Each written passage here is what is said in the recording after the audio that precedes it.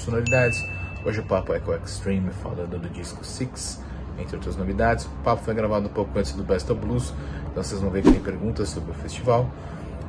E sendo que foi um pouquinho rápida porque os caras estavam acelerados para vir para o Brasil, então confiram, curtam, compartilhem.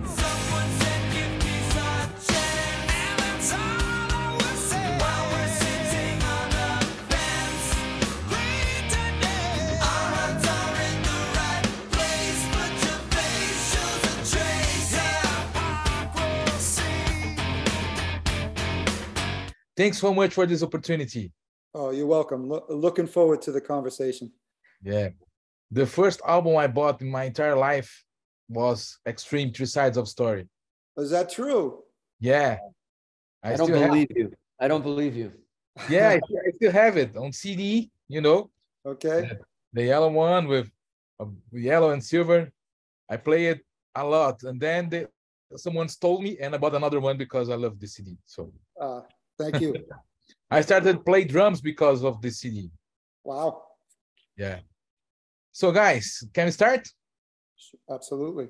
Okay, so thanks so much for this opportunity. It's a great pleasure to talk with you. Um, you are coming back to Brazil to play on Best of Blues. So what are, the, are your expectations? What can you spoil of the I don't want to. We don't want to give too much information. Um, we're looking forward to this festival. Uh, I was lucky enough to play it last year with uh, with Joe Perry, and what I remember uh, um, from the show, I mean, the production was great, the audience was fantastic, and uh, I saw a lot of extreme fans out there.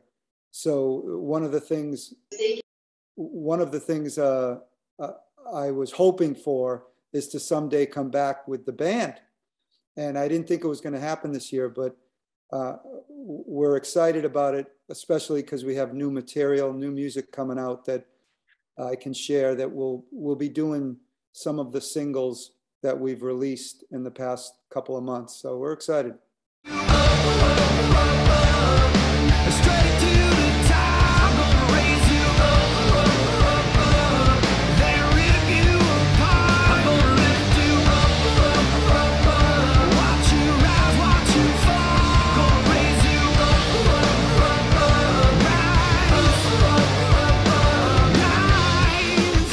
Six is an amazing album. As so far, we heard at least three singles. Yeah, uh, Rise, Banshee, and Rebel. So we, each single has its own vibe, its own, its own groove. I can I can say that. So I, I how how do you see the reaction of the people of the media? People love Nuno Solo. So what can you say about it? Uh, look, I mean, I, we're obviously we were, you know, whenever we do an album, you know, we don't, we don't, you know, uh, what's the word? We we're pretty confident, and we're always going for blood, and we we always imagine that it's going to do well and people are going to love it because we put everything into it. But we have to say, in the first 24, 48 hours, I think we're all a bit shocked, you know, uh, pleasantly surprised that, you know, back in the 1900s, for for somebody to let you know they love the album you would have to tour for six or eight months and then see how ticket sales go, see if radio's playing the song, see if the song climbs the charts, uh, you know, uh, album sales. Now, you know, you hit the space bar, you post something, the whole world can hear it just like that. And they let you know right away whether they love you, hate you, not interested. So I think we were kind of overwhelmed and, uh, you know, pleasantly surprised and excited of how the reaction for Rise was because you know, um, I, I think, you know, when, when, when, when, when your phone starts, it, it, reminded us of kind of back in the Pornograffitti days when people were reaching out to you, you when you have your brothers and your cousins and, and guitar players and musicians you know and people you haven't spoken to since high school are emailing you and texting you and you're getting texts and emails from some of your heroes you know like brian may and and steve vai and they're telling you hey man you know congratulations this is incredible. The song's incredible the video and you know, when it came to the solo, I, I was thinking to myself, I was like, okay, you know, watching these react me and Gary watching reaction videos, you know, and all, all, these things going on, and we're getting links after link after link. It just didn't it didn't stop for a month. So for me as a guitar player, I was, you know, thinking about it and I'm like, wait a second, you know, like these guys are saying Nuno has raised the bar and the solos or he's the guy now. And I'm thinking, wait, I've been doing this stuff at 30, like, you know, I, I remember even the technique on Rise. I was like, you know, one of the fans was really great. The comments were amazing, but one of the fans was like, really, everybody, he was doing that on three sides on Peacemaker Die, you know, that kind of stuff, you know. But what I think, I think after getting all that information, especially it was, I, I realized that the guitar solo and the reaction to the song showed me something about what was happening now or about what was not happening now. I think we rock and roll. And and if you think about it, uh, you know, especially from our generation, of course, there's great bands out there now and doing it in Five Finger Death Punch and great guitar players, but it's a different genre, right? So I think in in our of our era, I think two things. One is that the solo, if you think about how guitar players that are great guitar players at that now, like even some Brazilians out there, Mateus Asato and all these guys, but how do how do we discover them and how do we discover their guitar playing? They're sitting in rooms like we are right now. You know, they're sitting in chairs and and every day we follow them and they do amazing things, jaw dropping things, and you know we like them, but it's very technical and it's very one dimensional. All of a sudden, a band like Extreme comes comes out with a video. And what they're seeing, what they're missing, yeah, the solo is there, but so is the song, so is the arrangement, so are the harmonies, the performances. Gary is a front man, what we're wearing, and and the way the videos cut, and it's it's it's really what's been missing, what they're really being excited about. They can talk about the solo all they want, but they're what they're seeing is the mythology of rock and roll.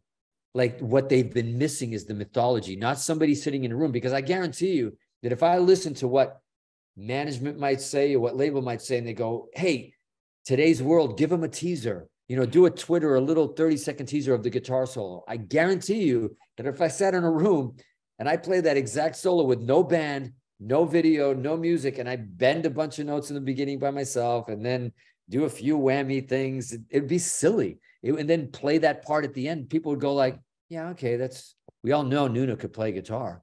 And then it would be like the moment to be gone. That's it.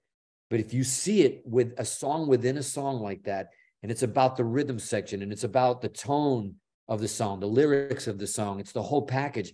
That's what reminded everybody, you know, how why they were watching this thing. And yeah, the solo is a decent solo, the song is a decent song, but I'm telling you, the other videos even proved it, even proved my theory and our theory even more. Nobody believed after what happened with Rise that Banshee was even going to pass that. And Banshee was even more cultural and more rock and roll and more blues based. And I think it showed more of Gary's as a performer and a frontman and, and our harmonies and all of that. So I, I the exciting part of it is that yeah, there's some great guitar playing, but what's more exciting is the whole package. Is that people I, I think have been reminded of what they're missing. And it was a big bitch slap, I think, you know, of rock and roll to just go like, hey, this is seeing a band that's passionate, a guitar player that's passionate about it, what he does, you know, uh, is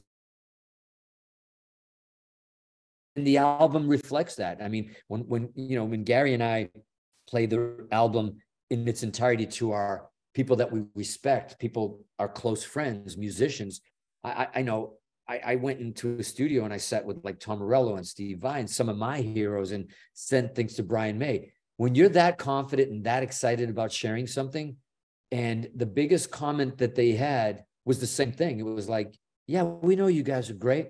We know you guys can do this. We you know we know you can play.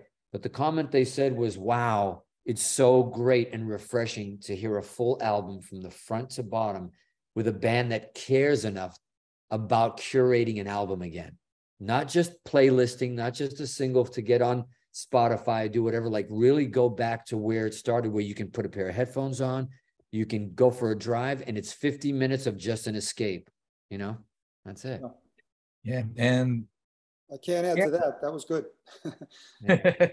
and Nuno was talking about Banshee on Banshee, the diversity, the your your voice was high praised by by all the people. And I mean, what's the secret?